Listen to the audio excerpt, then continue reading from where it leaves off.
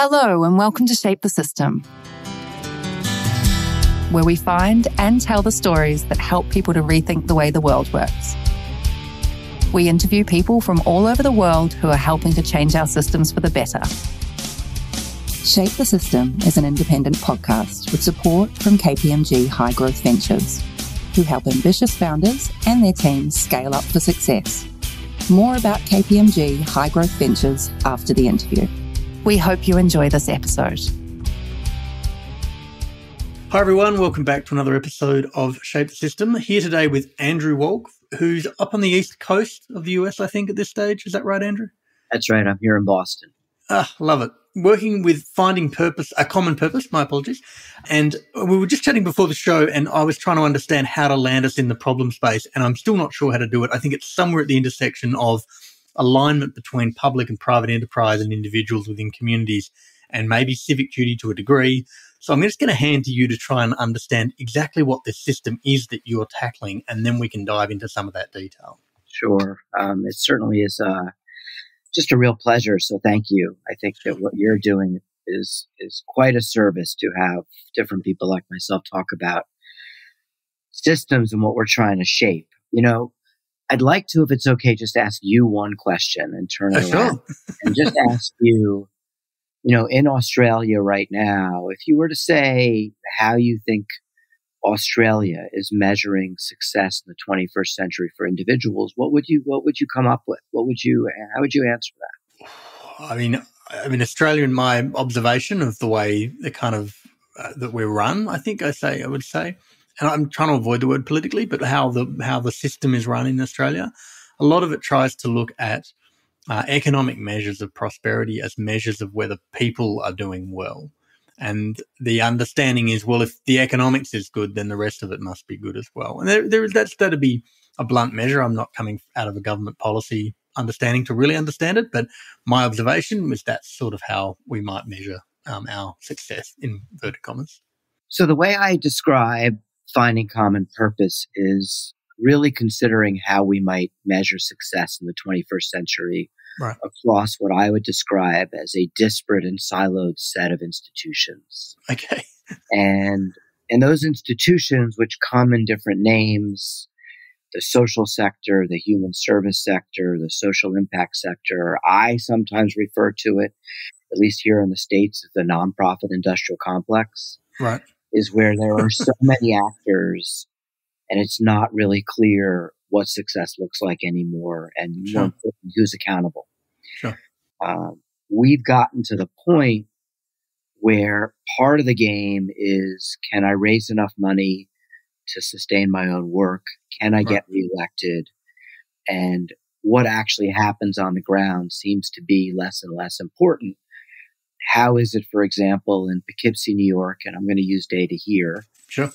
that 16% of all eighth graders read at math math proficiency? And right. How is it that in the greater Boston area that more than 50% of families uh, live below a living wage? Right.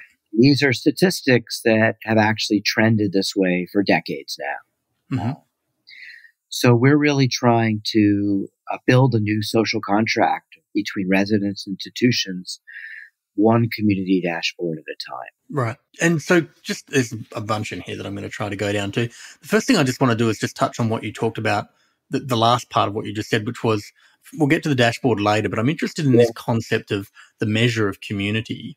Is this bound geographically or is it using the party lines that are traditionally drawn up inside of a council? Like, how do you think about community purely in the measuring construct? Yeah, that's a great question. I'm agnostic right now and find what's more important is if there's an existing initiative going on that is interested in going further with what they're doing. And that's what bounds the geography. Here right. in the United States, there have been actually over the last 10 years quite a large number of what we call place based initiatives, and they can be bound at the neighborhood level mm-hmm. through networks like purpose built communities.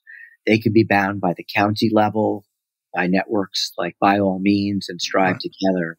Right. What's bounding them is that some residents as well as private nonprofit and public sectors have come together to try to make change. Right. The only other thing I want to say though is what makes that question really challenging is the resource flow. Sure. resource flow generally at, is at its largest at the federal level and begins to trickle down and more and and the smaller trickles down to the least power communities have on how to spend it.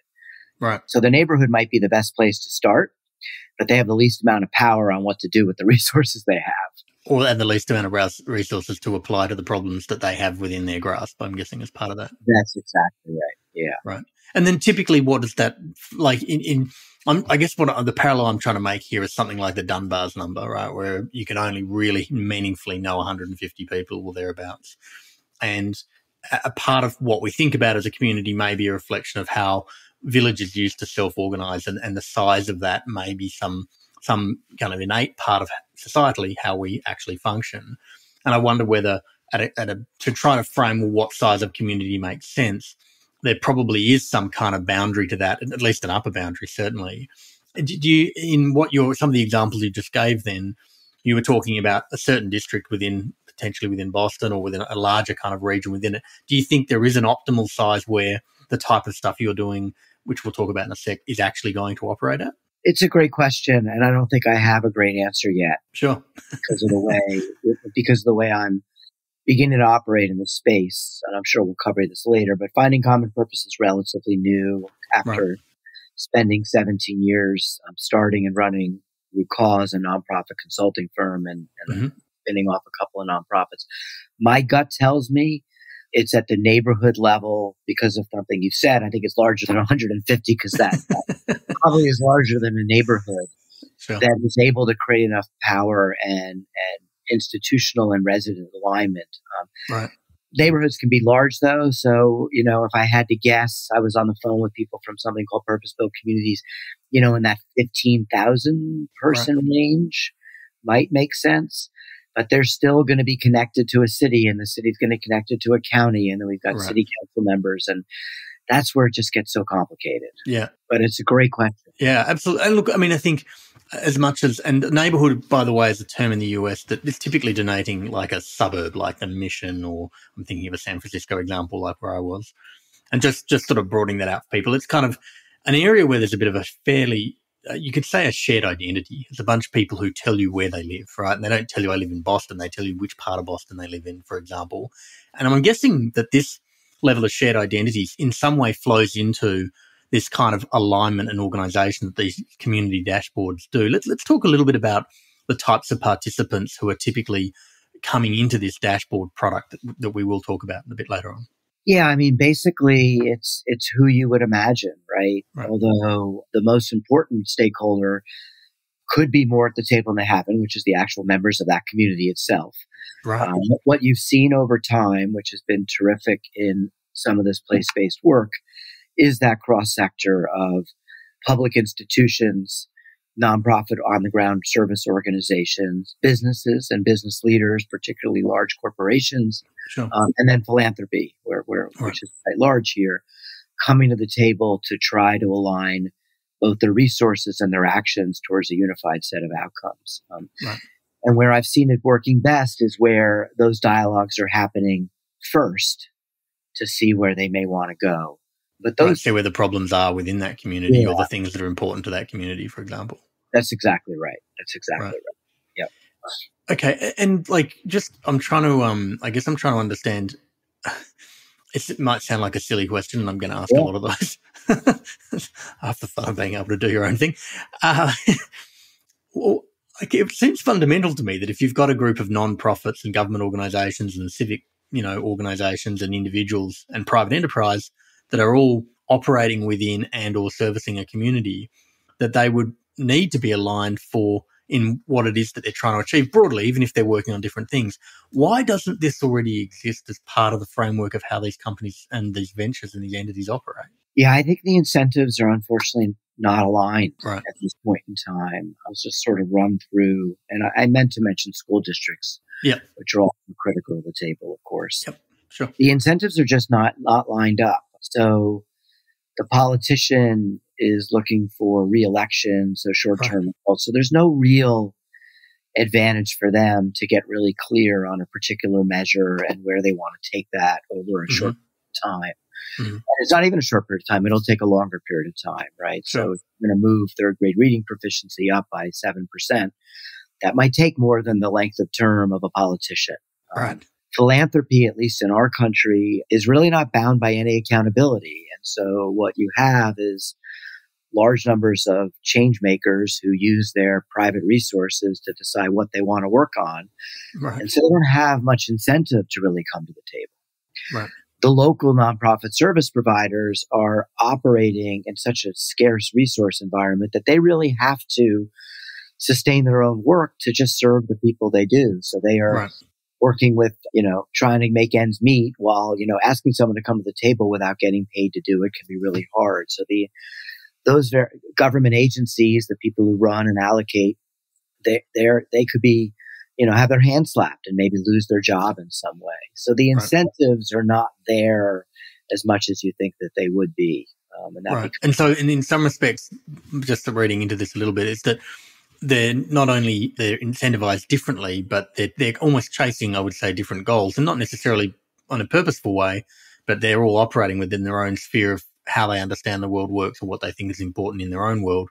And I'm guessing therefore is a, there's a whole lot of people and actors operating at cross purposes, perhaps none of them in alignment with what the stakeholders in that community, being the community itself, would actually want. Is that that part of the rubber that? I think that is part of the rubber, although I would say that in the category of what the people want, that becomes the final sort of challenge around um, because they, they have over time been asked. It's not clear that people are listening. Right. But, they also may not know because they're trying so hard just to make ends meet, put food on right. the table, get transportation, right. work such busy lives that they don't necessarily know what they don't know um, about what may be most important in terms of how to land themselves a decent job or take advantage of certain services or so on and so forth. Mm-hmm.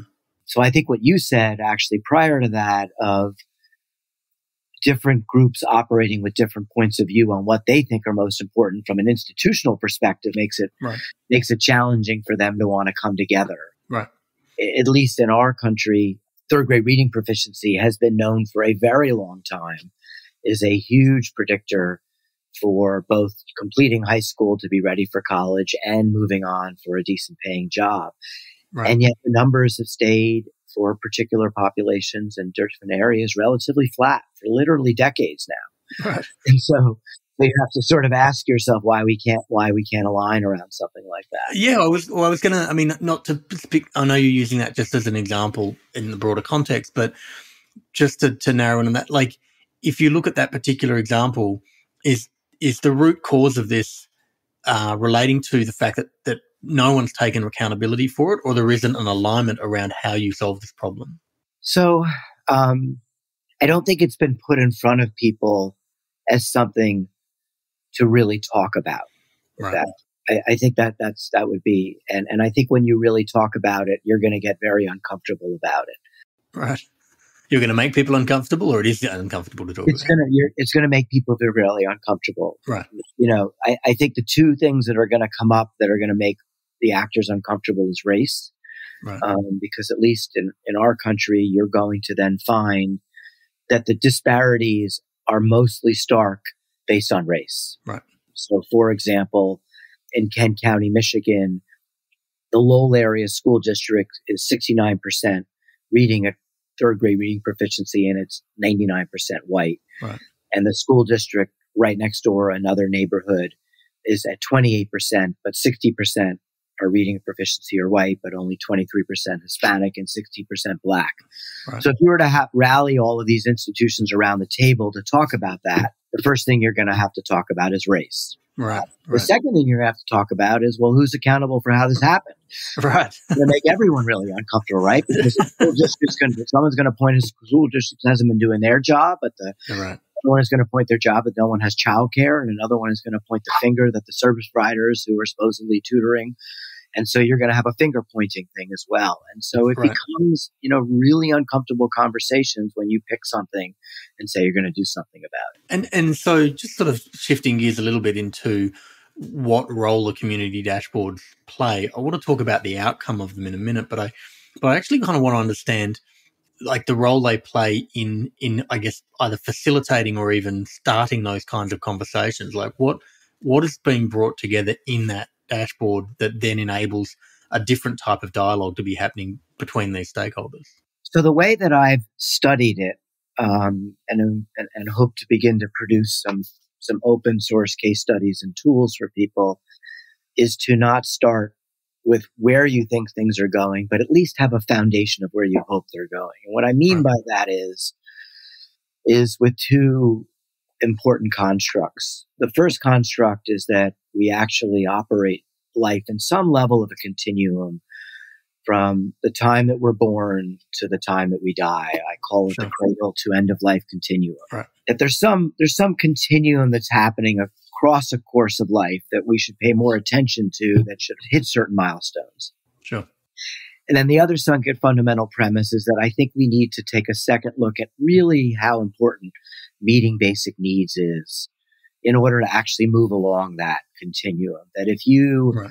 are having trouble being fed or have a, a roof over your head, that it's really hard to make that progress, right? Right. And so framing the conversation in that way is what I think becomes most important. And then bringing stakeholders together, and most importantly, residents, with that kind of framing and some sort of introduction to measures that might be the right ones, right? Right. Um, not, right. not try to push them in the direction that they are the right ones, but based on a couple of um, really important pre- premises, is which what is there some evidence out there that this measure might be a proxy for something because there's no perfect measure, right? Sure. And then public data is the second one. And I think the right. public data one, I think is often not utilized well enough. And that we often want the perfect measure, which the perfect measure comes with all sorts of challenges if you have to privately measure it. Uh, and, and all sort of influence, I'm guessing. It's kind of hard to sit arbitrarily outside and objectively outside of this stuff. And I think know, that's especially, right. yeah. Yeah, and and so you've got the arbitrariness of it. You've got whether the tools are out there. You've got to raise the resources to privately put it together. So I am a big fan in trying to really work with what we have right now. It may not be perfect, um, but at least it allows us to say, well, if this public measure is, is good and there's evidence, maybe it's not being disaggregated as much as it should be by race or neighborhood, right. but maybe we can go and expand upon it in some way. Interesting. So I want to I want to come back to a few other things in this. So you talked about this continuum and and I'm guessing that there's there's kind of a commonality of these are the types of things that you need at a baseline to be able to be pros- to prosper, right, or to thrive, or whatever the kind of overarching term is. Um, but that at different stages in an individual's life, as part of a community, but just measuring the individual here, certain things are more important to them at 13 to 19 versus 19 to 29. Right. Um, and I think from from my read of it earlier, there was a, there's about six major stages that you have in this continuum. Is that right? Have I got That's the number right? right? Yep. Um, good. uh. Talk, just talk me through these continuum stages. I, I'm curious as to how this kind of came out. This idea that you've got to understand that the, the, the needs of a 58 year old in the community and the needs of a 15 year old in the community are different and you need to service them differently. And here's how we've thought about these stages. Yeah, well, first, let me say it's not mine. I've, there, there have been others well before me. Uh, mine might have six and others had four or seven or whatever, but I think the Brookings Institute had something called the Social Genome Project. These places right. all across the country have had cradle to careers. Right. Um, I, I, do think that oftentimes they have stopped after college and not really taken into account what happens once you get into the workforce, which actually sure. is the most important time. And certainly, you know, what happens after you're out of the workforce. But the, just real quick without taking all our time, no, that period of time prenatally, you know, when, when a woman is pregnant to ensure a healthy birth till they're ready for actually entering the formal education system is mm-hmm one period of time. Yep. And actually, ironically, we now know maybe the most important time and actually has probably the least formal system of measures in place, at least in our country right now. That's right. changing quite a bit. I think there's been a lot of energy around the importance of pre-K and zero to 18 months, but it's still, it's probably at its earliest. Then the second stage is that sort of more formal post primary and secondary education. So when you were in formal yep. K through 12 education, at least here, mm-hmm. that gets divided out often between sort of, you know, middle school here, at least, you know, K through entering high school and then high school. But in the confines of that system, oftentimes people will move that into post secondary. I do not. I, I, think that the formal education system is very formal in the way it's set up here. Right. So that becomes the second stage. And then the third stage becomes that entering the workforce stage, right? So, you know, I think there's more pressure put on a college degree being important than what happens when you go out of high school. And, and while a college degree can be essential, there are many training and vocational institutions and so on and so forth. But what are we really trying to accomplish, which is to try to enter someone into some sort of pathway for them to um, be able to have some sort of living wage. So that right stage of life of post secondary into some sort of decent paying job is that third. And then the, and then the fourth one is, and once you've um, gone there is how well are you building your assets, you know, into the workforce to some level of sort of stability right. uh, that, that you have. From there, you're now moving from building assets to a stability that has you enter that final stage of life. And those two can be a bit gray and, and I've thought about them a lot and they may need to get molded together because we have probably spent the least amount of time to get to my question I right. you at the beginning around economic indicator. Sure. Which is that we focus primarily on employment.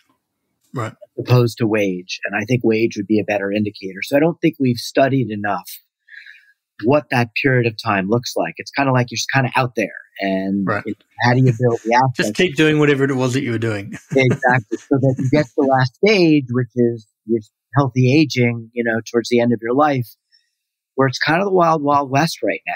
You know, right. Push them into a nursing home. Do they have enough for Social Security here?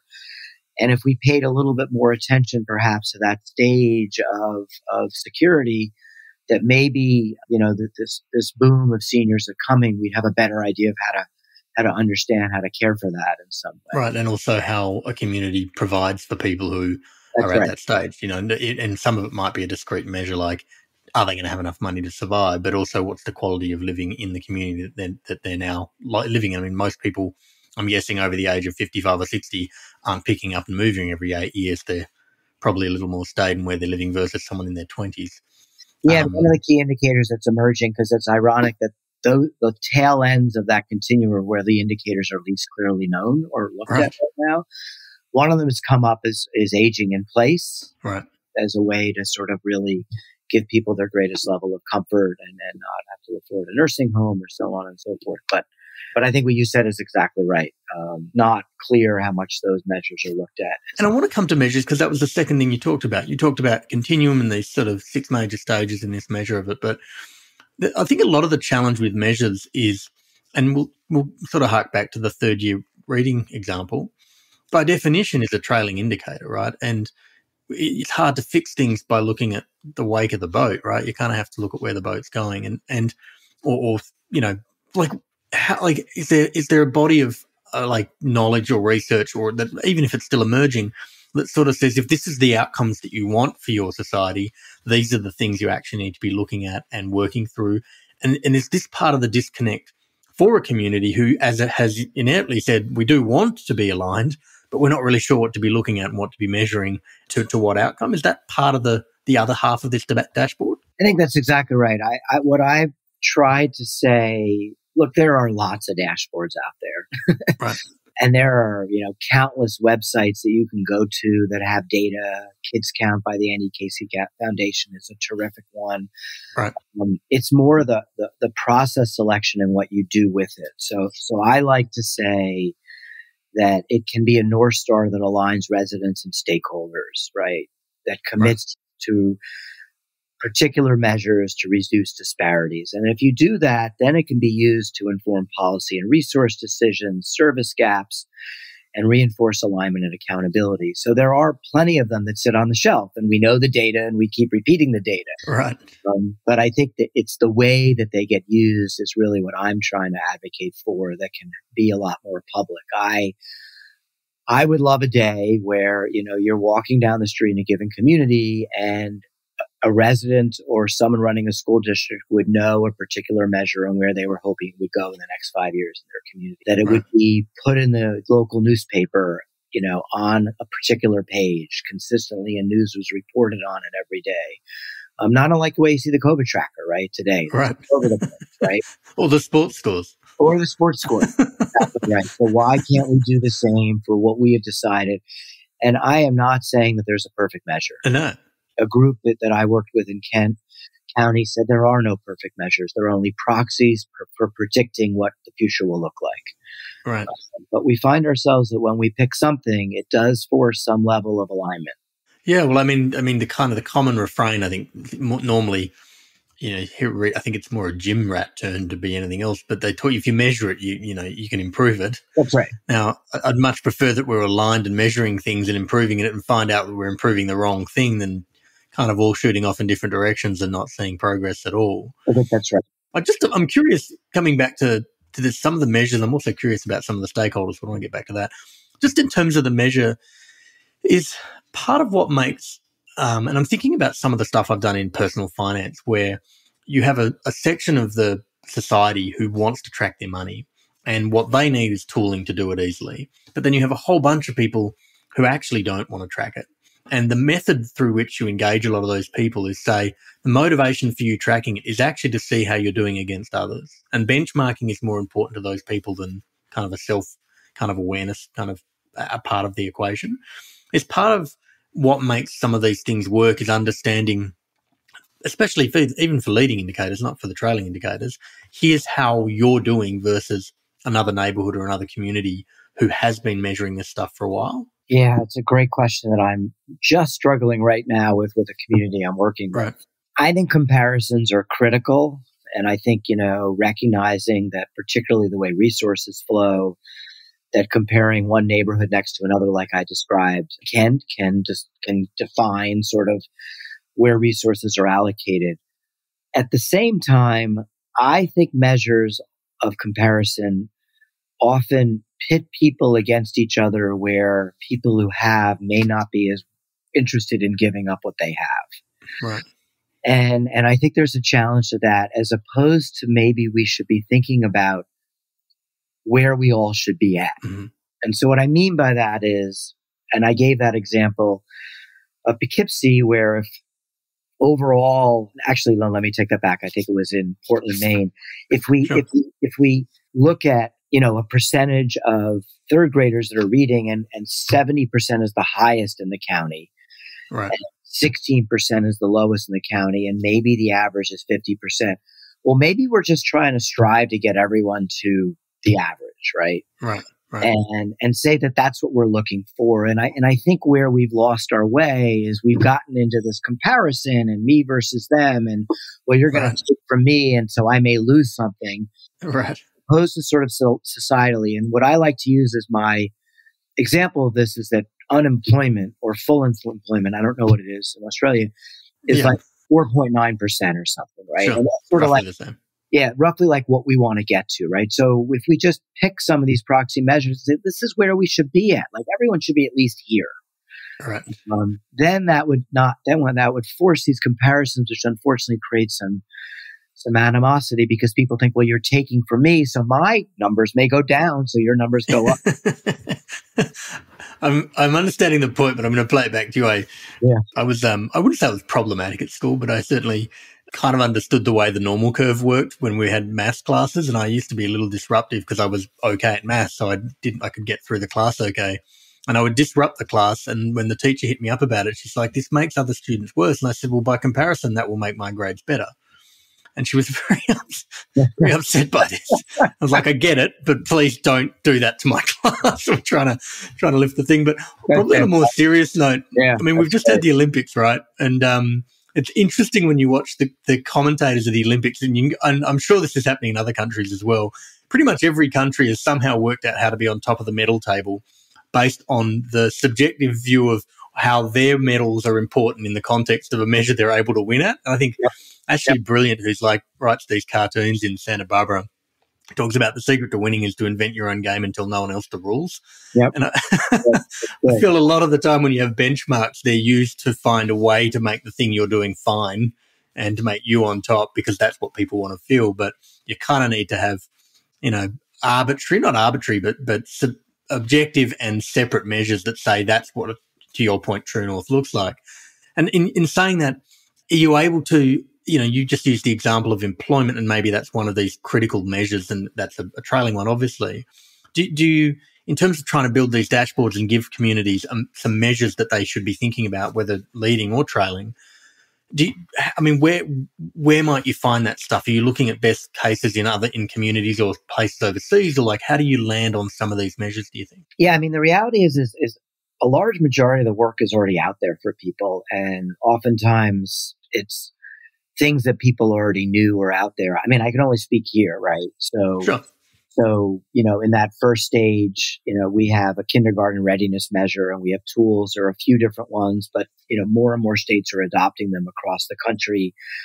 In the you know, in, in the health area, you know, obesity is widely being measured now across our country. Mm-hmm. Mm-hmm. Reading and math proficiencies is widely measured. We are getting better, although it's not as public as we like around the wage measure or income measure, right?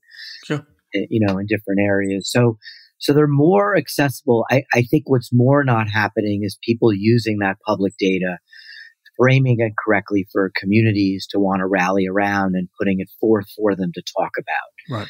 I think the other thing that gets tripped up, which I don't have a great answer to, is that, you know, we've divided not just that continuum, but into two sort of categories of education leading to some sort of economic mobility right. and, and health, right? Both social, mm-hmm. emotional, and physical health. And, and we're pretty weak on measures around social and emotional health. I think it's only emerging as a critical aspect to your ability to sort of function and be in school and, and you know, be able to be in class and so on and so forth.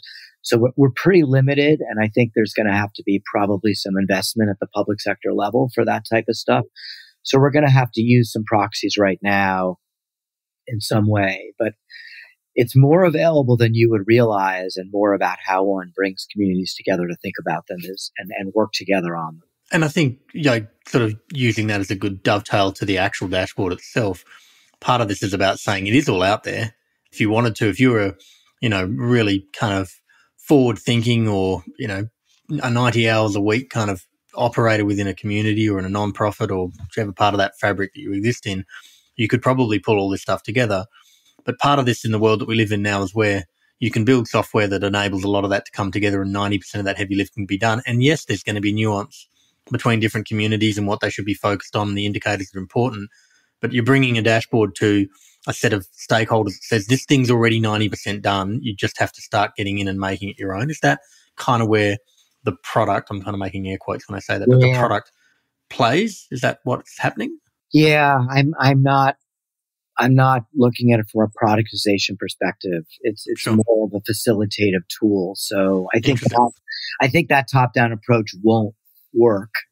Right. So, so the, so the hypothesis and there are some examples, you know, of where it has been a more top down. Here are the measures. Take this inter- intermediary. Go for it. you know, I think it's more finding the trusted leaders in a community that want to, with some back guidance, facilitate talking about that they would want something like this. So by the end of it, they've got something that they built on their own, right? So it's not so shaping and framing of it, as I said earlier, of, you know, perhaps it's in this continuum form, or maybe it's that you just want a couple of measures in financial health, leading a healthy life and education, right? So maybe they right. want to bag the whole continuum piece and just right. make it simplistic. Right. But more importantly, over it could be six, nine months, even 12, bringing those key institutions and residents together to talk about it themselves and think about where it would live and how it would be used is going to be far more important than me or the dashboard. Up. Yeah, exactly. So it's interesting, and because I misunderstood that when I was first like reading about it and trying to understand it. Yeah, um, and I think that's for me to know, by the way. Good.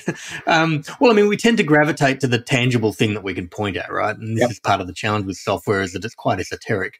You know, there's no one who's like, oh my God, see that beautiful bit of software? Like software people do that, but most people are like, what is it doing for me? And I, I want to sort of get back to the PFM budgeting example that I gave, which is there's amazing technology out there to help people track their money. But the most successful programs I've observed over a five year period are the ones that help people change their behavior. And the technology is kind of the tool to help them do that. And it's usually people helping people change behavior. And the technology is kind of here's your thing to continue this behavior that we've just established. Is this kind of the model that is what you're bringing in? A hundred percent. And so yeah. I'm just taking that 100%. That's exactly right. So I do not add, I am not advocating that I have some silver bullet tool, but I am advocating for a process for which there would be a tool that I think could be helpful for the process that we're in and that they would want to move forward with over time. Yeah. And that's going to ruffle feathers getting all those people together to talk about it, which, which will be the process itself that I think is most important. Well, I mean, and this kind of leads me to a few of the questions here, which is, I mean, it, it having a, an amazing process is good, and if you, you know, even even momentarily jump on Facebook, you'll see the number of ads for processes that will help you get more flexible and more fit and more whatever it is. But so many of them are now services that are facilitation of taking the action, and the framework is just something that helps someone sell an idea and attach their authentic, you know, ability to deliver on the program. And so it sounds to me like part of that is this, which we've brought all these assets together and we've brought it into a process and we can facilitate that for you. So I guess two main questions I have for that is how do you facilitate it? As in, like, and and I guess a related question is if is how do you scale it?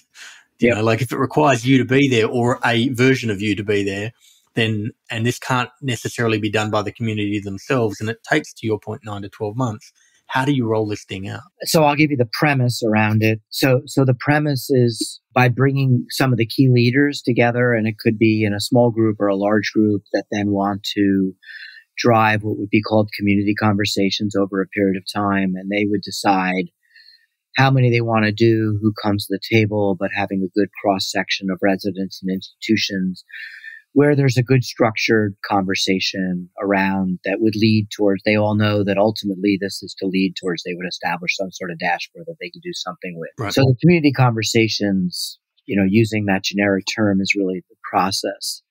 Right. So the scalability of it is a really good question. I think the only thing that i can say is that my hope is to build so so coming from a consulting background sure. root cause i think what what what we did not do enough of that is is give away what we do. Right. And and the reason we don't give away what we do is because we need some sort of proprietary knowledge to keep ourselves in business, which was sure. why I, I left doing what I was doing. So my hope is is that there becomes a shared community of open access to this type of work, where right. ultimately um, everyone is willing to share the tools that have been built, the way it's been done. There's a peer aspect to it where one person can call another. That is not going to limit the expertise that is always going to be needed in some way. Sure. But maybe it will lower the bar a bit to, you know, five and six. Or broaden the net. Plus. Yeah, or broaden the net of how, how how many people could do this on their own. I think that's going to take time, as well as you know people wanting to contribute both their own time to share what they've been doing and be able to get their tools from different people. But, you know, as an example, I am working with a community to interview them on how they ran these community conversations. And they're more than happy to share their community conversation toolkit and how they made a public announcement about it. So it's not as much a case study as right. much as a click here and get their toolkit already, right? Yeah, it's a playbook. it's a playbook, right? And I don't even want to say right. the playbook, but it's more very no, a framework some way. And yeah, yeah. So that's. I mean, and yeah. So just, I mean, the it, it sounds to me like the the the change that's required to even move a community in this direction. Firstly, requires bringing a bunch of people to the table, right? Which probably means operating within that community to know the people to bring to the table and have right. degree of gravitas to bring them to the table, and then facilitating, to your point, a bunch of conversations that say this is we need to agree that this this this concept is important and then think about how we want to make the concept our own. And that's all very human behavior. That's not technology. It's not platform. And the framework is really just to your point a facilitation tool. Do you think assuming that that that the, the genesis of this and the very early stage of this is, is very centered on the delivery of and of a facilitation that it lends itself to a certain type of individual who will think a certain way or operate a certain way. Yeah, I mean, the individual has to have the skill sets of really strong listening skills, holding the frame while willing to enter new aspects of that frame to broaden it, but not get rid of it. Right. Right. Um, and that that really becomes the core because, as I think you said earlier, each of these institutions or residents are going to bring a little bit of a different frame to this, or hold on to their own point of view, or quite frankly, their own power in some way. So, how do you hold the frame while listening and sort of having to expand or make it nimble in some way? And I think that is a very particular skill set. And, and I think you've hit the nail on the head that I think we're trying to understand who those right people might be in the community. I like to say that I like, I would like to lead from behind and never in front in the community because I'm not from that community. But how we find those people is hard. And the more they're from the people that they're actually, you know, bringing together is difficult. Yeah. And look, I mean, I'm always uh, at risk of going into solution mode when I hear about problems. It's half the fun of talking about them. But I mean, so much of this reminds me of kind of things like the way yoga works, as an example, mm. right? Where you've got people who learn how to do the craft and they want to run a yoga studio a certain way. But the firstly, they need to have the credential that says, you know how yoga works, you know, and I've only done a small amount of yoga. I'm not a practitioner. I'm not someone who knows how to teach it. But my observation of yoga is that there's some, a bunch of fundamentals that everyone agree has agreed are important and people go and learn those fundamentals and then they go back into their own community and set up a studio in their own likeness, which is how they want their studio to operate, but attached to those fundamentals. And it's, there's a set of principles that kind of apply that help someone guide what is or isn't yoga. But, but the personalization and what, what's relevant and needed for that community and how they want to operate that studio is related to what they're trying to do, but also the, the people who they're trying to serve in the community that they're around. And it feels to me like the model here. I mean, if my guess is there's probably fifty thousand local communities in the new, in you know North America. Probably I don't even know if that number's even in the right decile. So to, to actually scale this challenge, you're going to have to empower tens of thousands of people to understand a program, to understand it well enough to then go and make it their own inside their own community. Is that kind of yeah, I think three steps ahead? Or yeah, no, no. I think your yoga analogy is a great one. I think that it does go back to I'm not I'm not clear yet on what the the center of change is neighborhood. Right. I mean, my gut tells me it's neighborhood in some way. It's going to have to roll up to some degrees up. You know, I, I did write an op-ed about a month ago in a in a place called Changing America, where you know if we had a national community dashboard, you know that, right. that that trickled down to communities, that would be ultimately what would be great, right? Right. So I think we have to take a bottom up approach here. So, but I think either way, you're right. It, it, we, we need empowered local people to do it. And I think that's a, I think your analogy is, is quite good. I will say, because it was one thing you had put in front of me before, before we talked to each other that I want to, the, the biggest bottleneck here, unfortunately, in the long run is, is going to be elected politicians. Right. And, and the reason why that is, is that they do, they do hold a fairly large amount of, of power to pick the issues that are most important, allocate resources. And that doesn't have to be, that can be all the way down to city council or county. I was going to say, even at that level of community. It really is, yeah. And, and they are the least interested in this. Right. that was actually one of my questions from earlier. Who, who's already at the table and who are you having to bring drag kicking and screaming? And, and politicians are at the far end of that level? They are. Well, and and they're not always at the far end if you can hold cover for them. Right. But but they're they're at the far end of the table for good reason because you know you know they, they may actually be trying to do good, but you know the the media is going to crucify them if they go public with what they say they're going to accomplish or they're putting out this right. fire. You know right. that I've heard right. by elected mayors in some way. So it's a, it's a tricky balance of why. There, there's very little incentive for them to be at the table. And I've heard a story you know, in a place I will not mention where, you know, a government agency had put their together a dashboard like this where it showed sure. that you know, change hadn't happened a while and still wasn't happening. And the governor of that state just shut down the dashboard, right?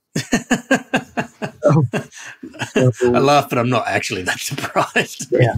So I think you know I think that's the biggest challenge is how to give some of the people whose job may be most in the line some cover mm. while this stuff starts to take shape in some ways. It's going to be a really important nuance to how this politically plays out in a given community. Yeah, I look. You know, I mean, I, my main kind of venture thing, I guess, is a online mortgage broking, and and we found that transparency is is like incredibly critical for for developing trust. And if you can normalize the idea that hey, we just put everything out there and everyone can see it, and that's our starting position, then you you you have a different kind of engagement that happens within a group of people because they're like, well, now everything else that you say is resonating differently because you've your starting point was well, it's all here. Our job's not to hide it from you. Our job is to help you with it. So if at least you can see it and we can see it and we're both looking at the same thing, at least now we're not talking about different things. I mean, there's examples, I think, in Finland or Norway where tax returns are a public asset. Like everyone's tax return is publicly available. Yeah. Like how would that change behavior? If I, I couldn't agree with you more. I think the only challenge is some of this data, you know, it may not be packaged out there, but it's correct, but there doesn't seem to be any ramifications to the fact that the data keeps staying the same. Yeah, yeah, yeah. So that that is sort of, you know, and that's the one I can't quite put my finger on is it doesn't seem to matter much, right? If that some right. of those data points I share with you are been the same for 20 or 30 years. So Right. So there doesn't seem yeah. to be the same level of sort of and some of the the data you've just mentioned, right, is more of a personal indicator that gives me an individual empowerment that I want to have. Right. Right. Versus a collective one. So yeah, I mean, I think a lot of the time, if you've got a data point that's staying the same, then people obviously aren't focused on the thing that led to that data point. That's right. But a lot of the time, that's those things are obviously related. You talked right up front about incentive structures. If the incentives were to change that data point, that data point would change. That's right. That's right. So you know, sometimes you have to shine a light on it to make it to make it important. You're, you, you've mentioned a couple of times root cause, and you, you've been that for 18 years, and then that led to, to this in, in a more recent time. Talk me through this shift from almost 22 decades in this to, to, to throwing it all through here to, to what you're doing now. Like, how did that arc of that story land? Yeah. Um, well, still landing by the sound of it. Yeah, I mean, I mean, it really happened. You know, we started as a strategy consulting firm focused on business planning, my primarily for nonprofits, and I sure. moved moved to measurement as a key area. And we were fortunate to do some work now 10 years ago on black male achievement. And it was at that time that I introduced a, a, a black male achievement dashboard. And so it forced me to understand public data sources. And when I saw the data, which in Detroit, 4% of black boys were reading at, at third grade reading proficiency, and that number had stayed the same for 20 years. It just sort of blew right. me away. Right. And over that period of time, the job just felt like a job. Um, and I knew right. the consulting job. I knew that we were doing good work. Right. I knew that that I was writing good plans or setting up good things and helping get more resources. But in the aggregate, it didn't feel I, I was great at getting articles published, speaking in places, getting foundation money, right. you know, all the things that you know, you know that you can do. But it didn't feel like it was enough anymore.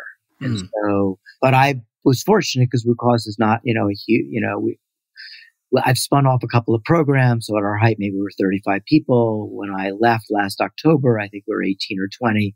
Had a really solid number two. I had brought in two or three years ago. So the time really felt right. Right. Also, a white male in his 50s and, you know, leading in this kind of work is probably something that needs to move on as well. So the timing just felt right to try to broaden my thinking and see if I can add value without, I guess, taking from the sector at the same time. So that that's that's the short story of it. I, I, mean, I'm curious because there's somewhat of an irony that you probably had a measure that sat the same for about ten years, that you weren't happy with at a personal level that triggered you to realize that there was a whole bunch of societal measures that were staying the same and that you needed to go and leave what you were doing and had been doing comfortably but stably for the last 10 years to try and shift the dial on something sure, else. Right. I mean, you know, yeah, absolutely. Making sure that we earned more than we didn't have so I could make payroll, you know, how many articles I got published or speaking yeah, yeah, yeah. I had, or you absolutely. I had a very different scoreboard. That's for sure. And I'm trying my best to have a scoreboard, which is to try to help others sort of realize community change. Um, mm. Level of my, you know, a couple of decades of experience now is right. I think that's, I think that's an excellent point. and then, like, where you find yourself, like, like right now today, um, having spent, you know, a little bit of time in the, in the finding common purpose sort of with focus, like, what's, you know, what's the main thing that's holding back what it is that you're the ultimate aim that you're trying to see. And what you're tackling is a huge, huge challenge. And uh, obviously, you're not the only person tackling it. But like, what's the biggest biggest constraint at the moment with 10xing what it is that you're able to deliver or achieve for the people you're delivering it to? Yeah, I mean, it's a great. I, I think the irony of that question is my own time, where I think it sounds like you've started and built and are continuing to build a lot of things, and you know as a social entrepreneur who has built a bunch of stuff, it takes a lot of time. I think I want more balance, you know, right. and so I think, you know, trying to pick how I allocate my time, knowing, you know, I can move a lot faster is probably the biggest sort of bottleneck, I would say. Um, to right. try to just be patient and say this is my last journey and let it just let itself play out is probably what I would say is the biggest bottleneck. I could give you obvious answers like when I start to raise resources more than I have, or yeah, yeah, you know, getting particular groups on board that I think I'd love to have on board. But I've started enough things to feel that's not it anymore. I think it's more taking a measured work at the speed of time that feels like I'm building trust and making things happen, which will just sort of hopefully take time is probably how I, I, I would answer it. Um, if it doesn't move as fast as it should, that would probably be the bottleneck that, that, that yeah. It's a very laconic answer. I just I feel like um, in hundred hour weeks. Um, yeah, I, look. often that's not not the solution either. I think a lot yeah. of the time, you know, I was talking to someone the other day about um, Yelp, and it's an unobvious segue, but but I'll work back to it.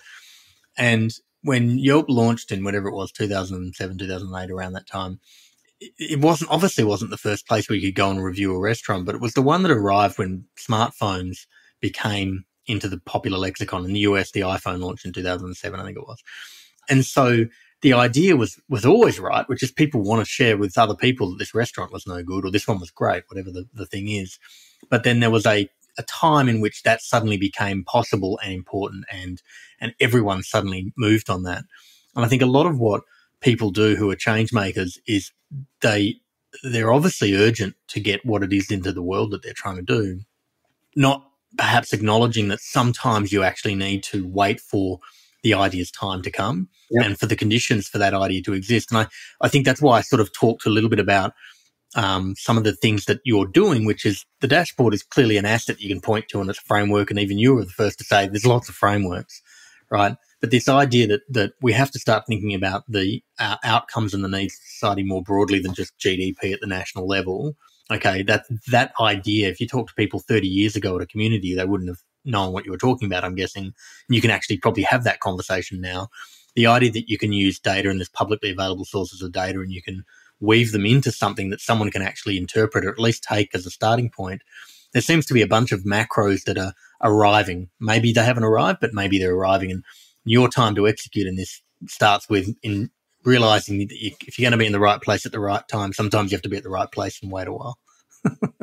I think that is sage advice for me, Vincent. I gotta say, that's gonna that's gonna have me take my Zen and go do some yoga and just sort of take it one day at a time, which which I just I love. I think that's great. I I you know from your your mouth to to my brain, I hope I can hold brain. That's terrific. Yeah. Oh, that's amazing. Well, we, we could probably keep talking for a while, and we probably will talk more because I'm curious to learn more about the product uh, and and the, the not the product's the wrong word, but but everything that you're doing to facilitate these outcomes.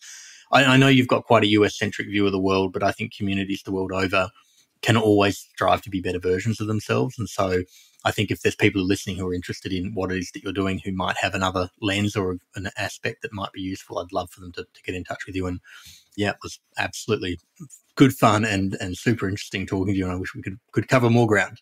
yeah, I appreciate that. I agree with you. You know, you got to start somewhere, but but I think this applies to any particularly industrialized nation that is seeing more and more inequality. You know, even though you the prosperity seems to grow.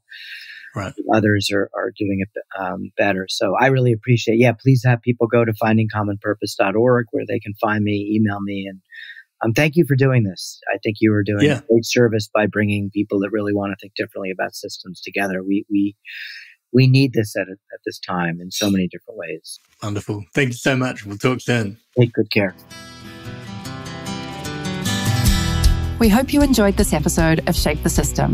As usual, if you'd like to suggest a guest, someone that you know who's helped change a system for the better, please go to www.shapethesystem.org, click on the top right hand corner, then click Suggest Guest. Make sure that you click subscribe so that you get the new episode. Shape the System is an independent podcast with support from KPMG High Growth Ventures. Connects founders to the services they need along their journey. Whether you are looking to refine your strategy, mature your finance function, prepare for a capital raise, expand abroad, or simply comply with regulatory requirements, they provide you with the support you need to drive your business forward.